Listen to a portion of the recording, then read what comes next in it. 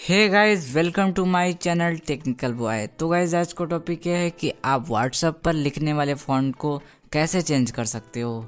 तो मैं वीडियो को स्टार्ट करता हूँ। तो गाइज़ मैं आपको जो सेटिंग बताने वाला हूँ, वो विदाउट ऐप के है। तो गाइज़ सबसे पहले आपको सेटिंग को ओपन कर लेना है। क्लिक करने के बाद आपको यहाँ से सर्च करना है थीम्स थीम्स को सर्च करने के बाद आपको उस पर क्लिक कर देना है। क्लिक करने के बाद आपको इस तरह का एक इंटरफेस दिखेगा। उसके बाद आपको यहाँ से वॉलपेपर रिंगटोन फॉन्ट प्रोफ़ाइल तो आपको यहाँ से फॉन्ट पे क्लिक कर देना है। क्लिक करने के बाद आपको यहाँ से थोड़ा सा आगे जाना है। आप देख सकते हो कि मेरा फॉन्ट मिल गया है।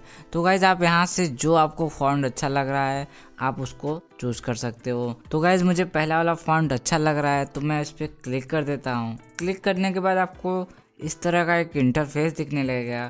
उसके बाद आपको यहाँ से अप्लाई का ऑप्शन दिखेगा। उस पर आपको क्लिक कर देना है।